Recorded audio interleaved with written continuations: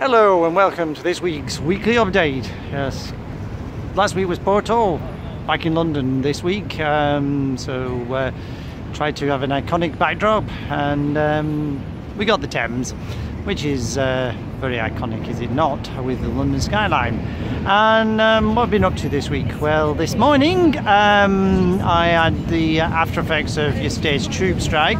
Um, it was quite interesting because um, I think uh, working from home has definitely had uh, an effect uh, because uh, I had to come in by train. I was expecting the train to be totally rammed uh, like it would normally be, um, and um, I got a seat, which was amazing. And then uh, when I got to King's Cross, I thought I need to get to Blackfriars.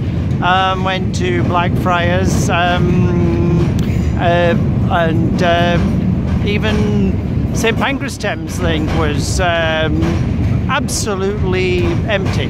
By the way, uh, the rumbling in the background is because I'm on uh, Bridge, of course, and um, uh, that is lots of uh, trains um, sort of departing. And um, yeah, so uh, there we are. So that's tube strike. So I think um, uh, in this uh, day of working from home and post-pandemic, uh, strikes are not really going to have uh, as much an effect as they would have done on commuting in the past.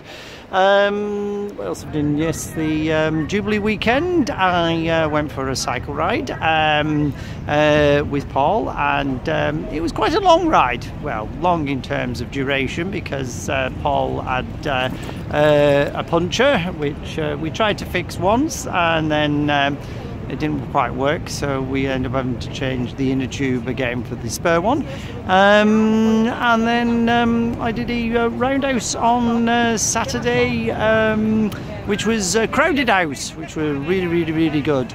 So, from a very, very bright uh, central London, um, and um, until next week, goodbye.